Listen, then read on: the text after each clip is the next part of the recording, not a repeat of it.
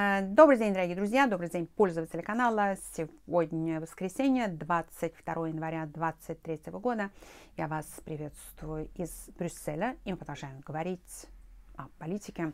Э, сегодня мне хотелось бы откликнуться на ваши пожелания и побеседовать на тему переговоров украинского правительства э, и компании BlackRock на полях Давосского экономического форума который завершил э, свою работу на уходящей неделе. Э, я думаю, что эта тема должна быть интересна в одинаковой степени всем нашим собеседникам, вне зависимости от того, на каких континентах они проживают. Итак, с самого начала я хотела бы прояснить ситуацию, потому что позиции сторон резко различались.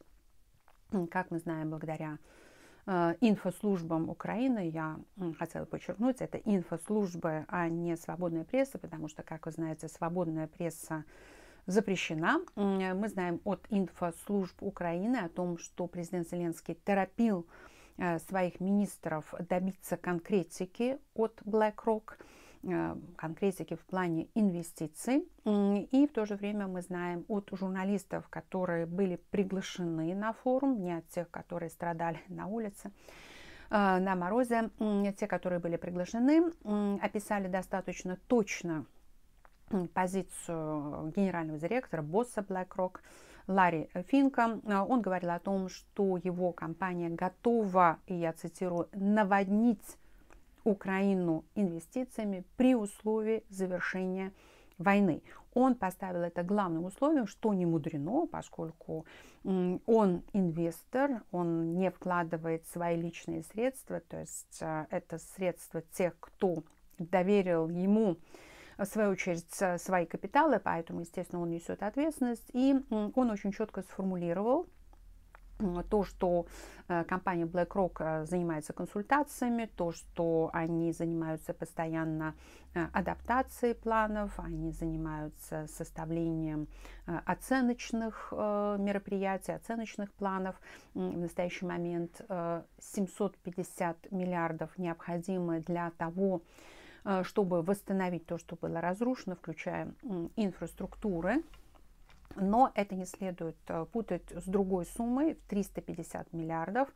Это то, что огласил Всемирный банк. Они считают, что именно такая сумма нужна э, Украине в настоящий момент на осуществление, скажем так, базовой жизнедеятельности. То есть есть разные нужды, э, поскольку Украина была в тяжелом финансовом положении еще до 24 Э, февраля, как вы помните, ряд высокопоставленных банкиров, общественных деятелей об этом откровенно говорили, о том, что Украина не в состоянии обслуживать долги, и в 2021 году э, они были вынуждены заплатить 160 миллионов за задержки платежей, то есть они все время должны обслуживать эти долги. В настоящий момент э, Евросоюз поддерживает украинское государство, то есть э, э, это минимальная сумма 18 миллиардов на то, чтобы выплачивались зарплаты чиновникам, учителям в больницах, чтобы работала,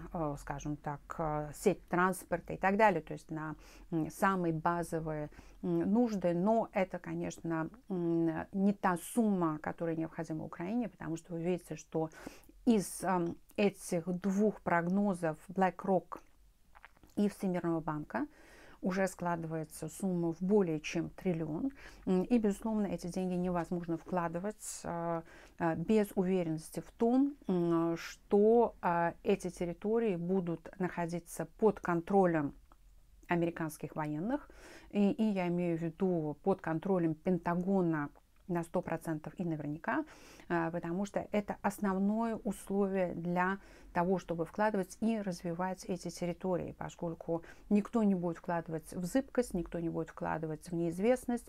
И в настоящий момент мы видим, что ситуация продолжает оставаться очень зыбкой, поскольку в России идет ожесточенная борьба между государственниками и олигархатом, а, которые озабочены исключительно своими узкокорыстными целями и нуждами. То есть а, пока что государственники проигрывают, они хронически проигрывают. Они проиграли а, и с Херсоном, они проиграли и с Красным Лиманом, они проиграли и с зерновой сделкой в Одессе, они проиграли и с отводом войск от Киева. Я имею в виду, конечно, российские государственные интересы. И до этого они вынудили Виктора Федоровича Януковича отказаться от своего мандата, который был выдан ему украинским народом.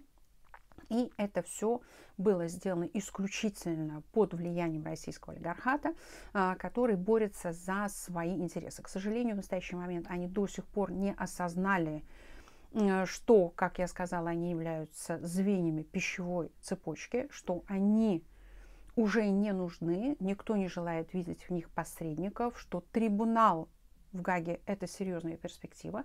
А, то есть они ни в коей мере не примеряют на себя э, платье Каддафи или костюм Каддафи, потому что они считают, конечно, себя умнее, они считают себя другими, и это очень, очень даже человеческий фактор.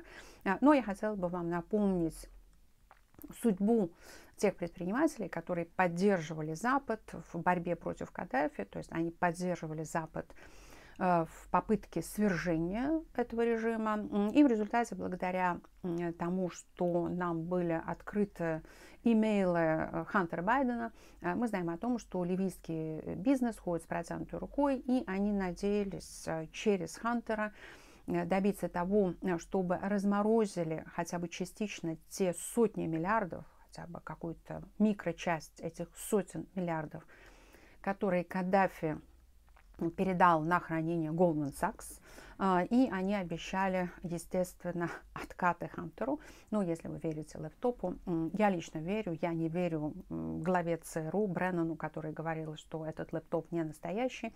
А, итак, это та позиция, то положение, в котором оказались ливийские бизнесмены, которые рьяно и ретиво помогали Западу свергнуть Каддафи в надежде на то, что за это им потом будет э, нечто причитаться, то есть они зарабатывают свой социальный капитал, но все вышло совсем иначе. То есть э, в таком же положении сейчас находится и российский олигархат, то есть они считают, что они могут договориться, они считают, что они такие умные, а, и что Запад их просто пугает, потому что они хотят э, добиться лучших условий сделки. То есть они еще не поняли, что их списали, и отправили, по крайней мере, морально на свалку истории. Э, и это вы видите достаточно убедительно на примере Романа Абрамовича, который очень много хлопотал а, и у которого уже начали экспроприировать э, активы, по крайней мере, э, это сделали уже в Канаде, потому что там очень сильная украинская диаспора, и он больше никогда не увидит своих активов, несмотря на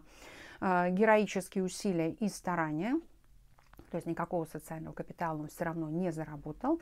А, и, а, кстати, также во время этих переговоров поднимался вопрос о необходимости отторжения экспроприации российских активов, российского имущества за рубежом, собственности и так далее, а, с тем, чтобы частично эти средства, которые необходимы Украине, покрыть из экспроприированного российского э, капитала и имущества. То есть, э, да, я прихожу э, сейчас к заключению. Заключение все то же самое, дорогие друзья.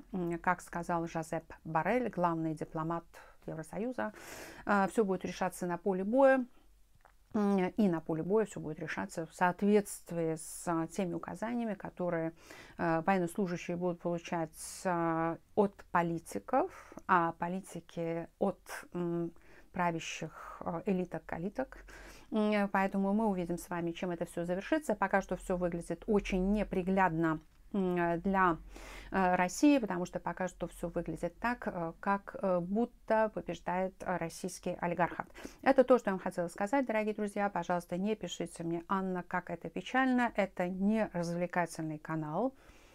Это канал, в котором я стараюсь делиться с вами полезной информацией, которая позволит вам принимать решения в своей жизни, основанные не на тех иллюзиях, которые создают средства массовой информации, не а, а, в тех образах королевства кривых зеркал, а в реальном мире.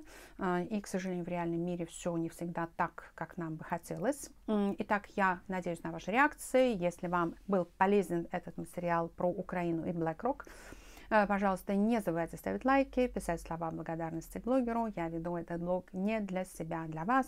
Также благодарю всех тех, кто принимает участие в дискуссии. Только, пожалуйста, не забывайте писать первым словом, откуда вы, топоним, потому что тогда нам проще оценить а, вашу информацию, а иногда ее просто невозможно оценить, когда вы пишете у нас, у нас, у нас, мы не знаем, где у вас. А, и, конечно, отдельное грандиозное спасибо всем тем, кто поддерживает мой канал донатами на развитие. Спасибо вам большое за ваш элегантный жест. А, и я также надеюсь, что вы все примете участие в нашей дискуссии.